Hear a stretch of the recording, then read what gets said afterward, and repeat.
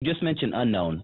Uh, before we get to uh, what I had, now unknown DJ, and I just heard this last week, had a label called Def Row before Death Row. It was Death Row. Did you know that? Yeah, yeah. Oh, okay. Talk to me about what you know about that and how that may have affected Death Row, and did he get paid or anything? Well, when Unknown uh, Unknown spun off, it had his own label, uh, Techno Hop Records, first and foremost. You got to understand Unknown. Unknown has always been a he's very creative dude. Okay, he's very sharp with it. And we would sit around and drink. Uh, I drink his uh, Kahlua and Hennessy. Uh, we sit around and drink Kahlua and Hennessy. We brainstorm sometime, and he's always been like uh, a, a, a, what you call that? Like a bee, bumblebee. He pollinates all the different camps. He goes. He, I know there's one of them cats that he don't mess with everybody, but he messed with everybody. Okay, Mm. and uh, he and Dre always stayed tight. Even after me and Dre them fell out, he stayed tight with Yella, Dre, all of them. And uh, he had the concept for Death Row, like Def Jam, and everybody loved it.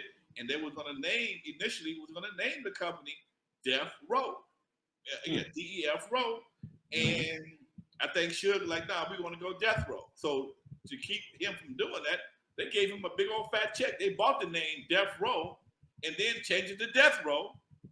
I see the artwork. I Wow. seen the artwork. Okay. I seen the artwork, Death Row. And you know, at some point in time, you know what? We're gonna make it Death Row. Don't worry about it. Gave him a check anyway.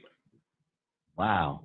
Yeah, never knew that. that That was one of the, that's one of those little twisted hip hop secrets that I just found out about four or five years ago myself. huh. Now you probably know more about this, but did Death Row even have to break him off? Like, is is it is it far enough from a comparison to where, No, or, or is it? They agreed to do the death row. They liked the Hmm. idea of death row. Oh, gotcha. They wanted to do this. They Gotcha. Gotcha. then they Gotcha. changed. Gotcha. Ah. Okay. Ah. They said, forget it. We're gonna go death row. We're not gonna go death row. We're going to death row. Yeah. Okay. Make it a little more Like, you know, gangster. they bought the copyright and every, bought the artwork, everything. Oh wow. I've seen, I've seen the, the mock-ups. Okay. Wow. Huh. And later Damn, on, there that's was a problem with Suge, and he left. He left death row and death Hmm. row. Okay. So he was affiliated, eh, not just He name wise, but he. with some groups over there, and Oh, okay. uh, the, the deal didn't go right, and uh, he left. Okay. Huh. Interesting. Smart guy. Sounds like. quickly. Yeah, he sounds. Yeah. I, I I met him one time, and I I, I told him I, my, my joke was I've never seen a picture of you. I don't even know what you look like. He's like, that's why I'm unknown. You know I what? met him one time at your place. We argue about that all the time. We argue about that all the time. I'm like, dude, you are the second highest ranking West Coast pioneer on in, in period. Okay. Mm. And there was three cats. Me, unknown, and Roger Clayton. We all I started first. They they was right on my heels. Okay. It was right on my heels. And when they when Roger uh, unknown used to take pictures, he used to and then he got to this unknown DJ thing. I got pictures of him. We, you know, but but as he got to this more to this unknown DJ thing, he just took it and ran with it. I mean, the Mm. dude, we've been friends for over 40 years. He did my documentary.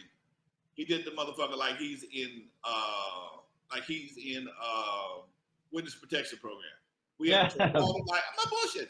To turn off all the wow. put his ass in the shadows, and that's how he did my documentary. Okay, like like the FBI or the mafia looking for his ass. Damn. They're saying your your your um they're saying your your um your levels are in and out. Just make sure I don't know if you have a mic there or something, but I, it's it's in and out on my end too. So just so you know, just maybe just be aware of where you are. Okay, You got it, guys. I mean, let me let me comment real quick. We're slow on my end. turn up a little bit. Let me check, my volume over here. All right, there we go. Cool. Yeah. Oh, yeah. yeah, yeah, yeah, yeah. Let me try something. Appreciate you all in the uh in the comments keeping the uh keeping the chats alive and thank you for for pointing that out because I, I thought it was me too, but I'm literally half deaf in one ear, so I can't tell most of the time. Good looking out, guys. Good looking out. Shout out to um, Celebrate Life Cerebral. Shout out to Uh, Bond says, "What's up, brother?" Shout out to D Blue. Shout out to the real Aaron Collins. He says these millennials are out of control and very unstable. You ain't lying, Playboy.